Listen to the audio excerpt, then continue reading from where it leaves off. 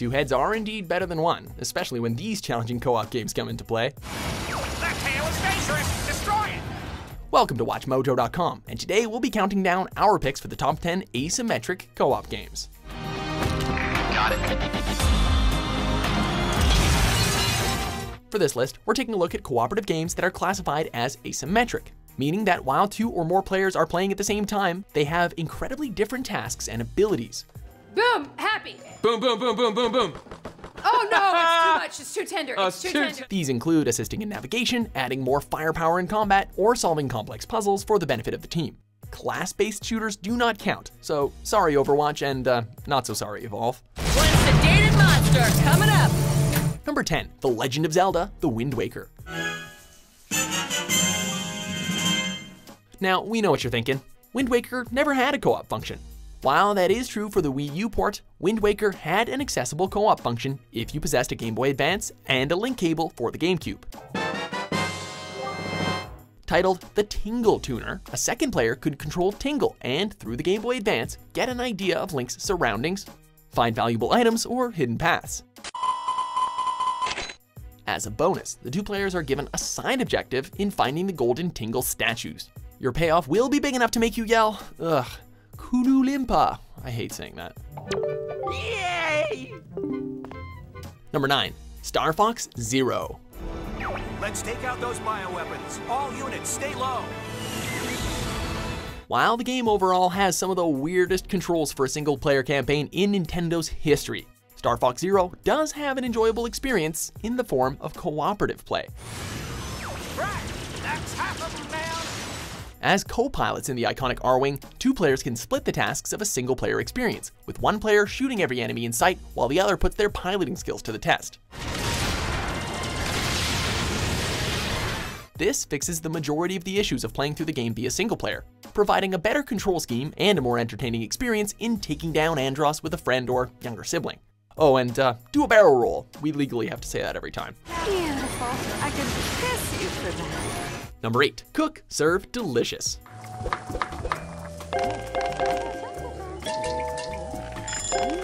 Ever wanted to run a restaurant with a close friend? Well, maybe not, but now you can as a chef and waiter. Is it still filling? It's not rocket science. Left button to serve. Unhappy. What am I doing wrong? Both equally hectic and multi-managing, one player takes orders and maintains sanitation, while the other cooks a variety of different foods, each with specific button patterns. As your business grows, so will the number of customers and upgrades for recipes. This often means additional buttons and keys will need to be pressed for a satisfied customer and possibly tip money.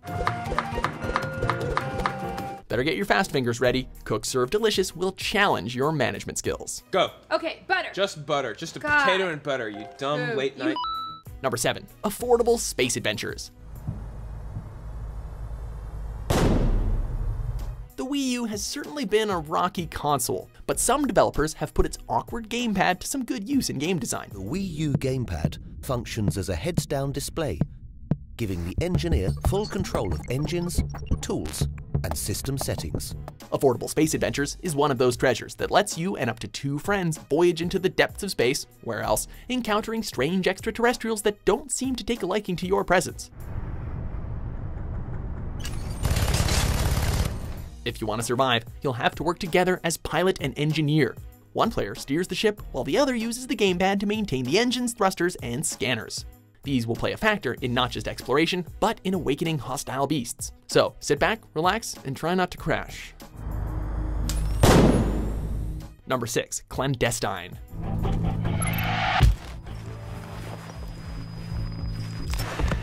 Here, you and a buddy take on the roles of Russian spy Katya Kozlova and expert hacker Martin Simborski in order to track down a killer and bring him to justice. Why couldn't you have just run when you had the chance? Playing as Katya will depend on the player's ability in shooting and sneaking around facilities to avoid being spotted. Martin, on the other hand, can use enemy security cameras to observe the environment and help guide Katya to key locations, bribe guards, or just drop health and ammo supplies. We must assume our adversary has eyes and ears everywhere. What makes Clandestine such a unique experience isn't just the James Bond-like atmosphere, but the engaging and suspenseful gameplay that successfully replicates the tense moments between agent and hacker that we've seen in our favorite spy films. Good. Our men won't be alive for the raid tomorrow. Maybe if we call the cops on these guys. They are the cops. Gotta get him out of there. Number 5. Mario Kart Double Dash.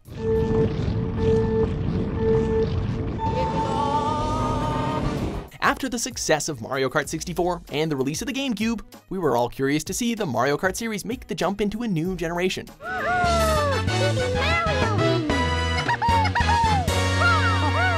Nintendo could have easily recycled the formula, but they went the extra mile and introduced something new to the series at the time cooperative racing. In Double Dash, one player can take the duties of driving while the other can fire shells, place bananas, or sideswipe other racers. With this feature, it can be crucial in communicating with your partner if you want to go for the gold. And what made the partner system even more interesting was matching different characters with each other. Number 4. Artemis Spaceship Bridge Simulator.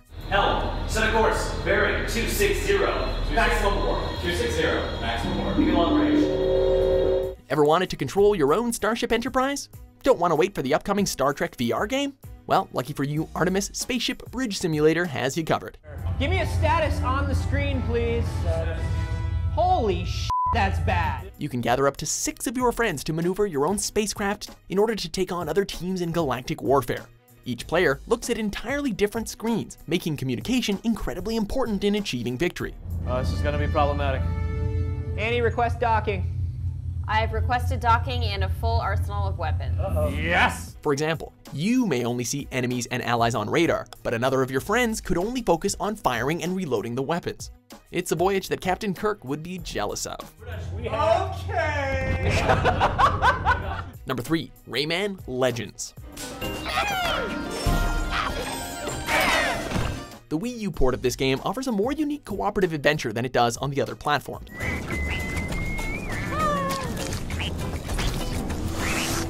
Rayman Legends allows players to use the Gamepad Pro to control Murphy, a green bottle fly who proves to be one of the trickiest and most useful game characters.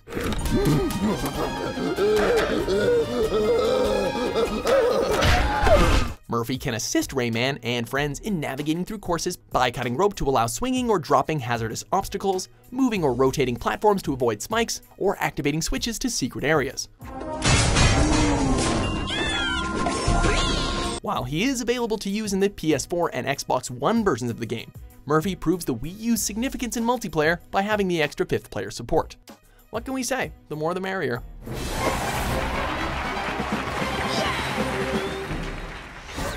Number 2. Sonic the Hedgehog 3.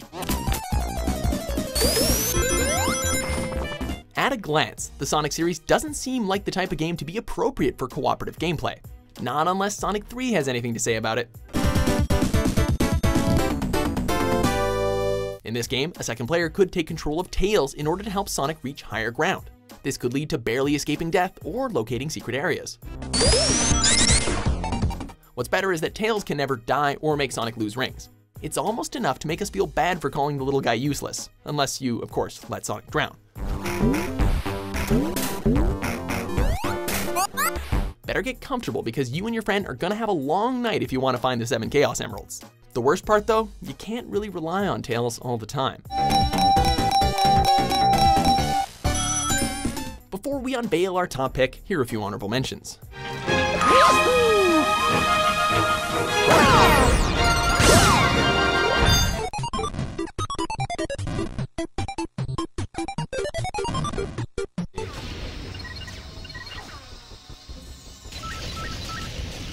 Number one, keep talking and nobody explodes. Ah! Great.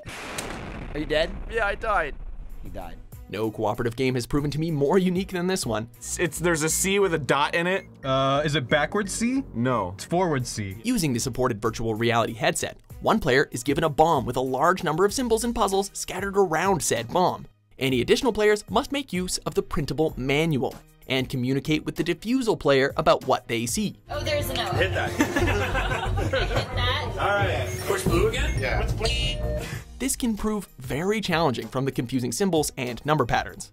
If that wasn't stressful enough, it basically all rests in one player's hands to effectively describe what they see in order to win. Do you cut the red wire or the blue wire? As if it was that simple. No, wait. Uh, UHHH. UHH? That's not on the list? Yes, it oh, is. it's up there. Oh. Hit ready. It exploded. Do you agree with our list? What's your favorite asymmetrical game experience?